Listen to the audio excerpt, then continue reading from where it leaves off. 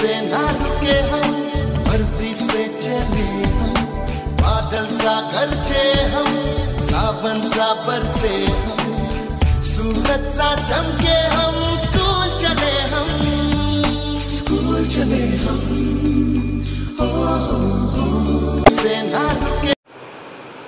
नमस्कार विद्यार्थी मित्रों હું દીપક સર, શ્રી સનફ્લાવર વિદ્યાલય ખોલડિયાદ વતી આપ સૌનું હાર્દિક સ્વાગત કરું છું. ધોરણ અગિયાર, વિષય આંકડાશાસ્ત્ર, પ્રકરણ એક, માહિતીનું એકત્રીકરણ. વિદ્યાર્થી મિત્રો, અગાઉના વિડીયોમાં આપણે ચલલક્ષણ, માહિતી ગુણાત્મક ચલ, સંખ્યાત્મક ચલ, પ્રાથમિક માહિતી અને ગૌણ માહિતી આ વિશે અભ્યાસ કરી ગયા. એટલે કે જે આ શબ્દો હતા, એ શબ્દોનો અભ્યાસ આપણે કરેલો હતો. આજે આ વિડીયોમાં આપણે પ્રાથમિક માહિતી એકત્રિત કરવાની રીતો વિશે અભ્યાસ કરવાનો છે. તો જુઓ મિત્રો, અગાઉ પ્રાથમિક માહિતી શું છે? એનો અર્થ બરાબર સારી રીતે આપણે સમજી ગયા હતા. તો આપણે એવું ત્યાં સમજેલા કે પ્રાથમિક માહિતી એટલે કે સૌ પ્રથમ વખત મેળવેલી માહિતી. આપણે ત્યાં ઉદાહરણ જોયું હતું કે ભારત સરકાર દ્વારા ભારતની અંદર દર દસ વર્ષે જે વસ્તી ગણતરી કરી અને જે વસ્તી ગણતરી માટેની માહિતી મેળવવામાં આવે, તો તે પ્રાથમિક માહિતીનું ઉદાહરણ છે. એટલે કે જે સૌ પ્રથમ વખત જ માહિતી મેળવવામાં આવતી હોય, તો એને પ્રાથમિક માહિતી કહેવાય. તો જે આ પ્રાથમિક માહિતી છે, એ પ્રાથમિક માહિતી મેળવવાની, એટલે કે એકત્રિત કરવાની જુદી જુદી પદ્ધતિ કે રીતો છે એના વિશે આપણે અભ્યાસ કરવાનો છે. તો પ્રાથમિક માહિતી એકત્રિત કરવા માટે જુદી જુદી ઘણી બધી રીતો પ્રચલિત છે. જેમાં આપણે વાત કરીએ તો સામાન્ય રીતે પ્રત્યક્ષ તપાસ, પરોક્ષ તપાસ, પ્રશ્નાવલીની રીત, ટેલિફોન અથવા ઈમેલ દ્વારા સ્થાનિક ખબરપત્રીઓ દ્વારા વગેરે જુદી જુદી રીતો પ્રાથમિક માહિતી એકત્રિત કરવા માટે પ્રચલિત છે. પણ મિત્રો, અહીંયા આપણે પ્રાથમિક માહિતી એકત્રિત કરવાની ત્રણ રીતો વિશે અભ્યાસ કરીશું. તો અહીંયા આ પ્રકરણમાં પ્રાથમિક માહિતી એકત્રિત કરવાની જે જુદી જુદી ત્રણ રીતનો આપણે અભ્યાસ કરવાનો છે, એમાંની પહેલી રીત છે પ્રત્યક્ષ તપાસની રીત. એટલે કે જુઓ, એક પ્રત્યક્ષ તપાસ. બીજી રીત છે પરોક્ષ તપાસની રીત. એટલે કે બીજું છે પરોક્ષ તપાસ. અને ત્રીજી છે પ્રશ્નાવલીની રીત. જોઈ શકાય છે ત્રણ પ્રશ્નાવલીની રીત. તો જે આ જુદી જુદી ત્રણ રીતો છે કે જેના દ્વારા પ્રાથમિક માહિતી આપણે મેળવી શકીએ છીએ, આ ત્રણ રીતનો અભ્યાસ અહીંયા કરવાનો છે. તો પ્રાથમિક માહિતી મેળવવાની પહેલી રીત એટલે કે પ્રત્યક્ષ તપાસની રીત. તો આ પ્રત્યક્ષ તપાસ જો મિત્રો સૌ પહેલાં તો પ્રત્યક્ષ તપાસ એટલે શું? તો શબ્દ છે, એ જ એના અર્થનું સૂચન કરે છે પ્રત્યક્ષ. હવે જો મિત્રો પ્રત્યક્ષ શબ્દ વિશે તો ખ્યાલ આવે ને, કે પ્રત્યક્ષ એટલે આપણે માની લો કે અત્યારે જે આ શિક્ષણ ચાલી રહ્યું છે, એટલે કે જે આ વીડિયો દ્વારા તમે શિક્ષણ મેળવો છો, એ પ્રત્યક્ષ નથી, એ પરોક્ષ છે. પણ તમે આ જ શિક્ષણ વર્ગખંડની અંદર બેસી અને મેળવશો.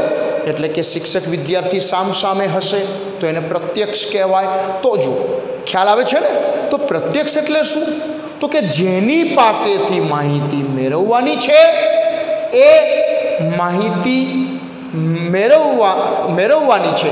એ માહિતી આપનાર પાસે માહિતી મેળવનાર રૂબરૂ જાય છે અને રૂબરૂ મુલાકાત લઈ અને માહિતી મેળવે છે. તેને પ્રત્યક્ષ તપાસની રીત કહે છે. ખ્યાલ આવે છે કે નહીં? પ્રત્યક્ષ તપાસ એટલે શું? તો કે પ્રત્યક્ષ તપાસ એટલે જુઓ. કે છે સંશોધક જાતે અથવા જો એવું જરૂરી નથી કે જે સંશોધક છે કે અધિકૃત સંસ્થા છે એને પોતે જે માહિતી મેળવવા જવું પડે. જો મિત્રો, ખાસ ધ્યાન આપજો.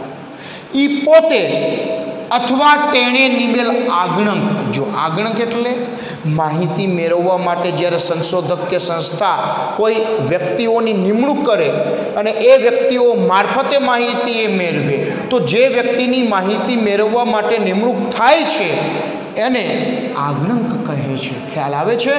તો સંશોધક જાતે અથવા તેણે નિમેલ આગણક તપાસના સ્તરની રૂબરૂ મુલાકાત લઈ માહિતી મેળવે છે. એટલે કે મિત્રો, જો પ્રત્યક્ષ તપાસની જે રીત છે ને, એ રીતમાં સંશોધક કે તેને નિમેલ આગણક, એનો અર્થ થયો કે માહિતી મેળવનાર, માહિતી આપનારની રૂબરૂ મુલાકાત લઈ માહિતી મેળવે તે પદ્ધતિ કે તે રીતને પ્રત્યક્ષ તપાસની રીત કહે છે.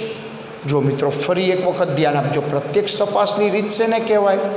તો કે જે રીતમાં માહિતી મેળવનાર, માહિતી આપનારની રૂબરૂ મુલાકાત લઈ માહિતી મેળવે, તે રીતને પ્રત્યક્ષ તપાસની રીત કહે છે. ખ્યાલ આવે છે કે નહીં? ટૂંકમાં પ્રત્યક્ષ જો, પ્રત્યક્ષ એટલે હમણાં વાત કરતી ને કે અહીંયા માહિતી આપનારની રૂબરૂ મુલાકાત લેવાની છે. કોણ લેશે? તો કે માહિતી મેળવનાર, એટલે કે સંશોધક કે અધિકૃત સંસ્થા, અથવા એ પોતે ન જાય, તો જે પોતે નિમેલા આગણંક છે. એટલે કે તેના વતી જે વ્યક્તિ માહિતી મેળવવાનું કામ કરશે, કે જેના માટે શબ્દ વપરાય છે આગણંક, એ માહિતી આપનારની રૂબરૂ મુલાકાત લઈ અને પોતાના અભ્યાસને અનુરૂપ માહિતી એકત્ર કરે, તો આવી જે રીત છે, એને પ્રત્યક્ષ તપાસની રીત કહે છે. તો જે આ પ્રત્યક્ષ તપાસની રીત છે તો પ્રત્યક્ષ તપાસની રીતથી માહિતી એકત્રિત કરવામાં આવે તો આ રીતે માહિતી એકત્રિત કરતાં તેના ઘણા લાભ છે. અને લાભની સાથે સાથે એની, એના ગેરલાભ એટલે કે જેને આપણે ફાયદા અને મર્યાદાઓ પણ કહી શકીએ, તો હવે આપણે ચર્ચા કરશું આ પ્રત્યક્ષ તપાસની રીતના લાભ વિશે. તો જુઓ મિત્રો, પહેલાં જ એના અર્થ ઉપર ધ્યાન આપજો. કે જે માહિતી આપનાર છે, એની રૂબરૂ મુલાકાત લેવાની છે. અને આ માહિતી આપનારની રૂબરૂ મુલાકાત લેવાની હોવાથી તમે જ વિચારો કે જે માહિતી મેળવનાર છે, એ માહિતી જે પ્રાપ્ત કરે, જે માહિતી મેળવે, એ માહિતી વધુ સાચી અને વિશ્વસનીય હોય, કારણ કે રૂબરૂ મુલાકાત લેવાની છે ને એટલે જો પહેલો જ લાભ, આ રીત દ્વારા સાચી અને વિશ્વસનીય માહિતી મળી શકે છે. શા માટે સાચી વિશ્વસનીય મળે? કારણ કે એ માહિતી આપનારની રૂબરૂ મુલાકાત લે છે. અને રૂબરૂ મુલાકાત લે છે માટે જે માહિતી છે, એ માહિતી વધુ સાચી અને વિશ્વસનીય હોવાની શક્યતા વધારે રહેલી હોય છે. તો આમ, આ એનો પહેલો લાભ છે. ત્યાર પછી જુઓ બીજો લાભ. જો માહિતી આપનારને કોઈ પ્રશ્ન, શંકા કે મૂંઝવણ હોય તો તેનો યોગ્ય ખુલાસો કરીને ઉકેલ લાવી શકે છે. જો મિત્રો શું કહે છે? કે જે માહિતી મેળવનાર છે, એ માહિતી મેળવનાર માહિતી આપનારની રૂબરૂ મુલાકાત લે છે. અને આ રૂબરૂ મુલાકાત લેતા હોવાથી માહિતી આપનારના મનમાં કોઈ પ્રશ્ન, શંકા કે મૂંઝવણ ઉદ્ભવે તો માહિતી આપનારના મનમાં ઉદ્ભવેલ શંકા, પ્રશ્ન કે મૂંઝવણ છે એનું એ જ સમયે નિરાકરણ લાવી શકાય છે. શા માટે? કારણ કે માહિતી મેળવનાર, માહિતી આપનારની રૂબરૂ મુલાકાત લે છે. એટલે એનો કહે છે કે યોગ્ય ખુલાસો કરી અને એનો ઉકેલ લાવી શકાય છે. તો આ બીજો લાભ છે. ત્યાર પછી જુઓ ત્રીજો લાભ. જ્યારે તપાસનું ક્ષેત્ર મર્યાદિત હોય, ત્યારે આ પદ્ધતિ વધારે સારી નીવડે છે. એટલે કે જે તપાસનું ક્ષેત્ર છે મર્યાદિત મર્યાદિત એટલે કે ટૂંકું, નાનું હોય. બહુ વધારે પડતું તપાસનું ક્ષેત્ર મોટું ન હોય. તો જે તપાસનું મર્યાદિત ક્ષેત્ર છે, એવા મર્યાદિત ક્ષેત્રમાંથી માહિતી મેળવવા માટે સૌથી સારી જો કોઈ રીત હોય તો એ છે પ્રત્યક્ષ તપાસની રીત. તો આપણે એનો ફાયદો થયો ને કે જો નાનું તપાસનું ક્ષેત્ર હોય, મર્યાદિત હોય, તો આ રીતથી માહિતી મેળવવી વધુ સારી છે. ત્યાર પછી જુઓ, ચોથો એનો લાભ છે. કેટલીક વાર માહિતી આપનાર અમુક પ્રકારની માહિતી આપવામાં સંકોચ અનુભવતા હોય. જો મિત્રો શું કહે છે?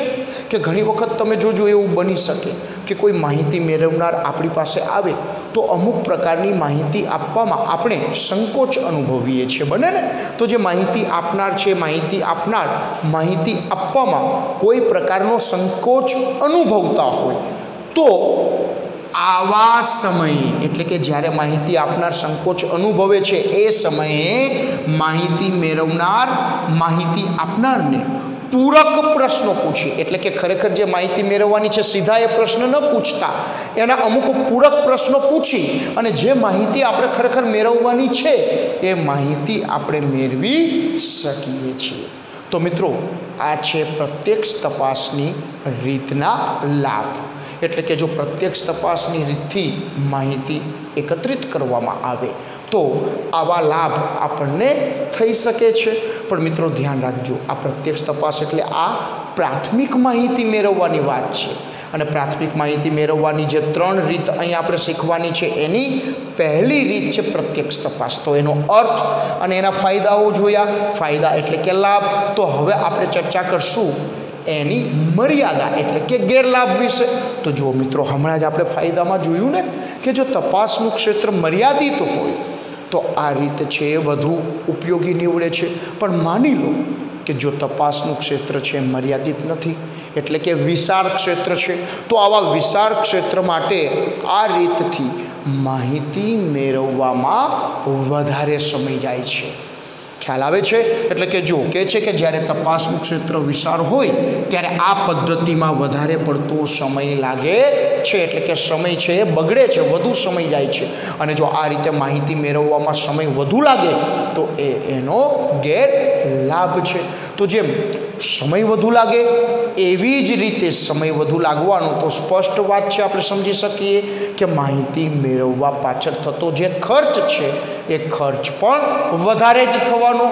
એનો અર્થ કે જે આ પદ્ધતિ છે, એ પદ્ધતિ વધારે ખર્ચાળ છે. આ એનો બીજો ગેરલાભ છે. જુઓ કે આ પદ્ધતિ વધારે ખર્ચાળ છે.